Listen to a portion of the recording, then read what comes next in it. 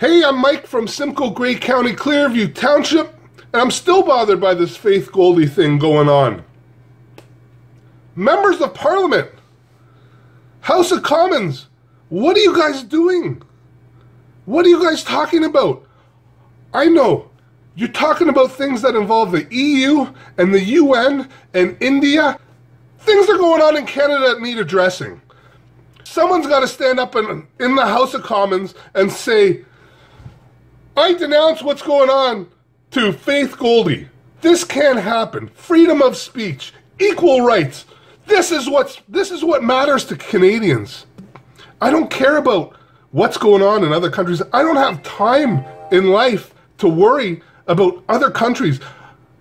I'm too busy working. I'm too busy worried about what's happening in Canada. Let's focus on Canada. Members of Parliament, stop with the EU agenda. Stop with the United Nations agenda. Stand up and, and ask the question why faith is getting no respect in Canada, why faith doesn't have rights like Canadians should have, why faith isn't being recognized like Canadians deserve to be. She's speaking for me. She's speaking for Canadians. There's nothing racist about what she's saying. She's concerned. She doesn't like what's happening in Toronto, nor do I. Toronto sucks. I don't even go there anymore unless I got an appointment or something, okay? Because Canada's starting to really suck. You got to move north if you want to enjoy Canada anymore, Canadians. This is where safety is right now. It's not in the cities, okay? Members of Parliament, MPs, speak up. Start talking about this. Doug Ford, I'm starting to get a little a little concerned about you there.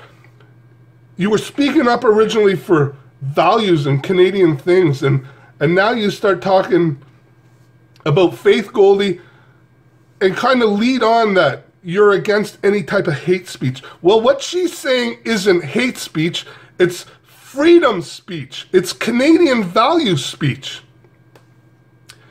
And another thing that bothers me the new motorcycle law you just passed just bothered me even more, okay? Sikhs can ride around helmet free. Well, I like to wear a hat. Can I ride this on a motorcycle, okay? I like to wear a toque.